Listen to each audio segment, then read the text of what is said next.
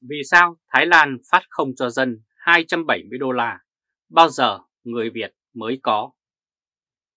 Trong một thể chế chính trị dân chủ đa nguyên, khi có sự cạnh tranh chính trị giữa các đảng phái và cử tri có quyền lựa chọn đại biểu cho mình tham gia nghị trường, thì dân biểu sẽ nỗ lực làm những điều tốt đẹp nhất cho cử tri. Chính trị Thái Lan là một ví dụ, tuy Thái Lan chưa phải là một quốc gia dân chủ hoàn thiện, nhưng các đảng chính trị ở xứ Chùa Vàng vẫn luôn nỗ lực đưa ra các chính sách mang lại quyền lợi nhất cho người dân để lôi kéo sự ủng hộ của họ. Tờ báo Tuổi Trẻ đưa tin Thái Lan phát tiền cho người dân. Tờ báo Tuổi Trẻ vào ngày 10 tháng 4 đưa tin Thái Lan phát 14 tỷ đô la cho người dân để kích thích phát triển kinh tế. Bản tin cho biết, hãng tin Bloomberg đưa tin Hội đồng đặc biệt phụ trách chương trình ví tiền điện tử của Thái Lan đã thông qua phương án cấp vốn này. Theo đó, 50 triệu công dân Thái Lan trưởng thành từ 16 tuổi trở lên sẽ được phát 10.000 bạt, tương đương khoảng 275 đô la Mỹ để mà chi tiêu cho một số lĩnh vực nhất định từ quý tư năm 2024 với mục đích kích thích nền kinh tế. Kế hoạch trao tiền cho người dân theo tờ báo Bloomberg là một trong những chương trình mũi nhọn trong chương lĩnh tranh cử của đảng Pay Thai, tức là đảng Vì nước Thái. Đảng chính trị lớn nhất trong liên minh cầm quyền ở Thái Lan hiện nay. Kỳ bầu cử này diễn ra vào tháng 5 năm 2023. Phil Thai là đảng chính trị của cựu Thủ tướng Thaksin mà con gái ông cũng là Thaksin Shinava đang là đương kim chủ tịch của đảng này. Trong quá trình vận động tranh cử, đảng Phai Thai đã hứa hẹn sẽ cho vay tiền trong chương trình kích thích kinh tế của chính phủ. Tuy nhiên, kế hoạch trên đã bị các đảng phái đối lập và một số chuyên gia kinh tế cũng như Ngân hàng Trung ương Thái Lan phản đối kịch liệt với lý do chính sách này có thể thổi bùng lạm phát và làm leo thang nợ công. Bên cạnh đó, Tòa án Hiến pháp Thái Lan cảnh báo chính sách này có thể vi phạm việc dùng tiền để mua chuộc củ chi trong luật bầu cử tại Thái Lan. Nhưng đảng Pheu Thai khẳng định đây không phải là chương trình hỗ trợ tiền cho người dân nghèo như cáo buộc, mà chương trình này nhằm bơm tiền vào nền kinh tế để kích thích sự phát triển của đất nước. Bộ Tài chính Thái Lan đánh giá kế hoạch này sẽ làm tăng GDP lên từ 1,2 đến 1,8%, đồng thời nó cũng đưa tốc độ tăng trưởng kinh tế của Thái Lan trong năm 2025 tăng lên mức gần 5%. Thủ tướng Thái Lan Thaksin cũng khẳng định việc bơm tiền là cực kỳ cần thiết để đưa nền kinh tế Thái Lan thoát khỏi một thập kỷ có tốc độ phát triển kinh tế dưới 2%. Thủ tướng Việt Nam, ông Phạm Minh Chính Cách đây hơn 20 năm vào năm 2000, Đảng Thái Rắc là người Thái yêu người Thái của cựu Thủ tướng Thaksin đã hơn hai lần giành được chiến thắng tuyệt đối tại các cuộc bầu cử ở Thái Lan. Chính là nhờ các chính sách lấy dân túy tương tự. Đặc biệt, chính sách giáo dục miễn phí 100% trong 15 năm và chữa bệnh không mất tiền cho mọi công dân, kể cả các bệnh hiểm nghèo nhất đã đem lại lợi ích cho cử tri và được đa số dân chúng ủng hộ. Ngoài ra, trong các cuộc bầu cử, chính sách vận động tranh cử thường xuyên đưa ra các loạt vấn đề trợ cấp xã hội hàng tháng cho các hộ gia đình, cá nhân người nghèo và người cao tuổi. Trẻ em Thái Lan từ 3 tuổi trở lên khi đến trường công được miễn phí toàn bộ trong 15 năm, gồm 3 năm mẫu giáo và 12 năm phổ thông. Kể cả học sinh chuyển sang học ở các trường nghề, nhà nước chi trả tiền cho tất cả các chi phí, còn phụ huynh học sinh không phải trả bất kỳ chi phí gì. Tương tự về y tế, mọi công dân Thái Lan đều được chữa bệnh miễn phí 100% theo yêu cầu. Khi công dân Thái đến khám chữa bệnh ở các cơ sở y tế công lập, chỉ cần mang theo căn cước tức là ID thì không phải trả tiền. Thuốc men do bác sĩ chỉ định cũng được cung cấp miễn phí.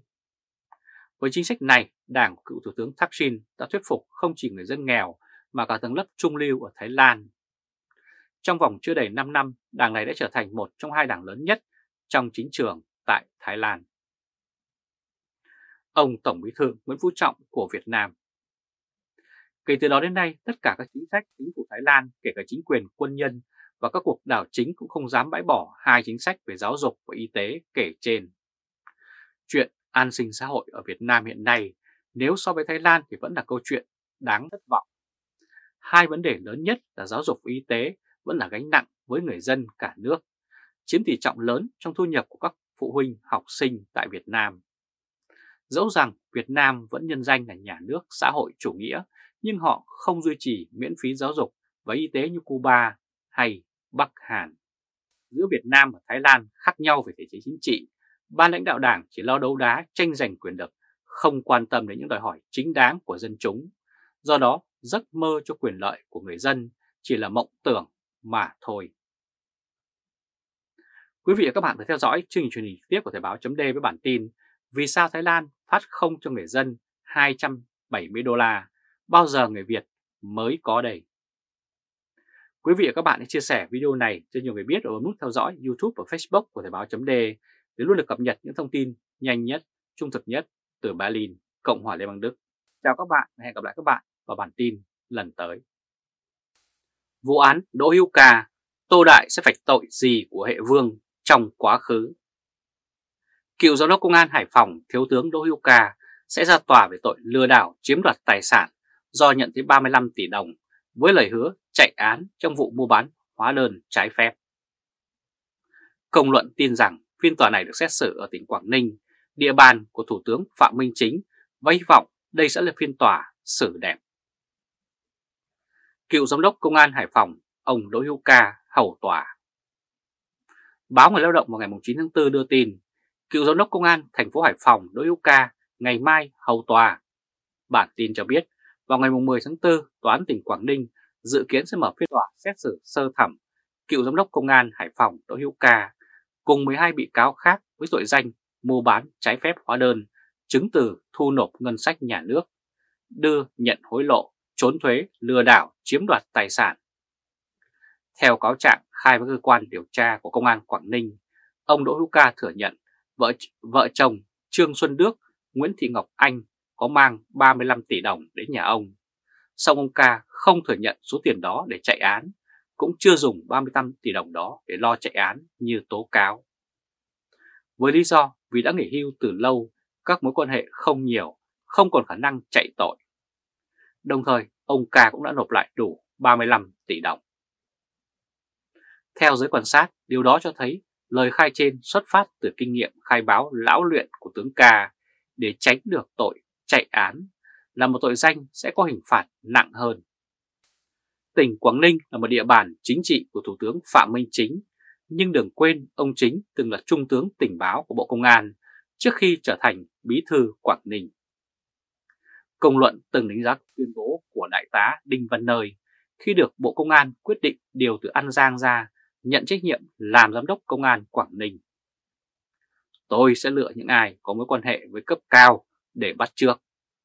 Đó cũng là lý do Bộ trưởng Bộ Công an Tô Lâm phải điều đại tá Đinh Văn Nơi từ An Giang ra Quảng Ninh thì mới túm cổ được Đỗ Hữu Cả. Quan trọng hơn, theo giới phân tích, trong việc khởi tố bắt giam đối với ông Đỗ Hữu Ca thì chạy án chỉ là một chuyện phụ. Mục tiêu chính của Bộ Công an là bóc gỡ những sai phạm khủng khiếp của Bộ Tài chính, đặc biệt dưới thời ông Vương Đình Huệ làm Bộ trưởng trước đây. Những sai phạm này có thể là thiếu trách nhiệm đến tình trạng mua bán trái phép hóa đơn, giá trị gia tăng VAT trong một thời gian rất dài nhưng không bị xử lý. Việc Công an tỉnh Quảng Ninh đã không truy đến cùng để buộc Tổ tướng Đỗ Hữu Ca tội chạy án là điều dễ hiểu, bởi việc bảo vệ hình ảnh cho ngành công an là điều bắt buộc. Thiếu tướng Đỗ Hữu Ca, cựu giám đốc công an Hải Phòng trước khi bị bắt.